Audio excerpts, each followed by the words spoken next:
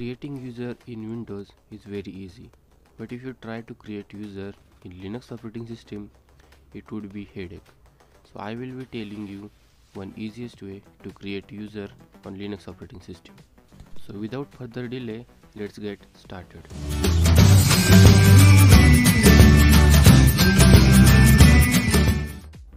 Now open your terminal and you have to type one command sudo space su now you have to provide root password.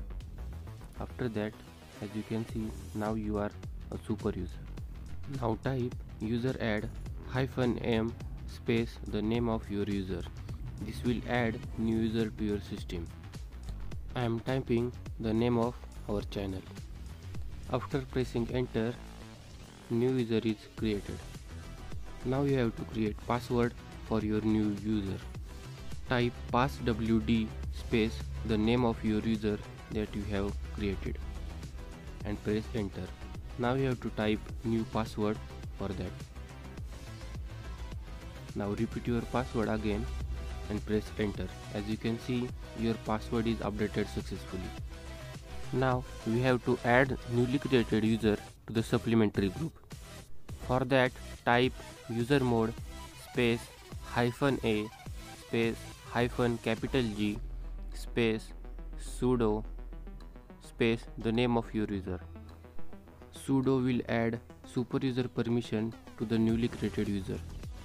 Now we have to create login shell path for the newly created user.